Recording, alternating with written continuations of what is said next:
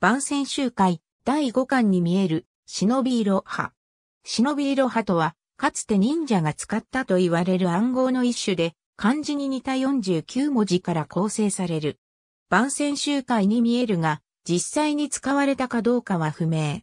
なお、忍び色派という名称はおそらく現代の研究者によるもので、実際の忍術の書物には見えない。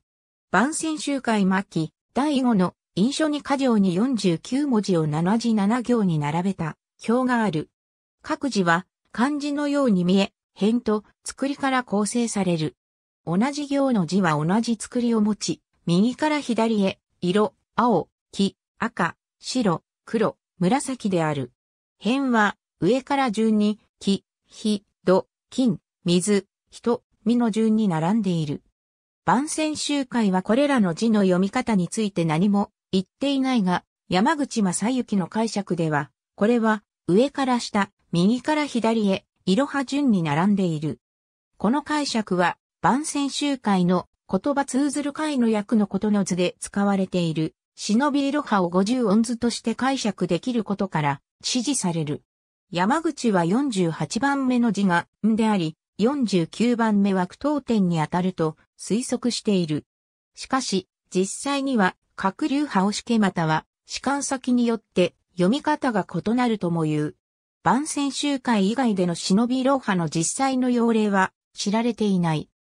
白土三平による忍者もの漫画にしばしば使われ、忍法秘話の中の石光では大祖のものが忍び老派で書かれているが、目録類では下駄記号になっていることがある。JIS X0213 では、この台を根拠に第4水準にとの2字を収録しているとは別転居によって第3水準に追加。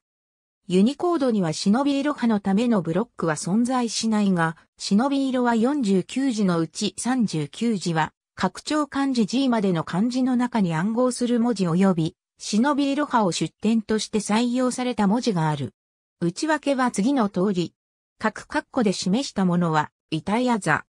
さらに、今後追加予定の CJK 統合漢字拡張エッジで、未収録の土色、宮尾、宮か、みじろ、土黒、日紫、土紫、金紫、人弁紫、三紫が追加されて、完全網羅となる予定である。ありがとうございます。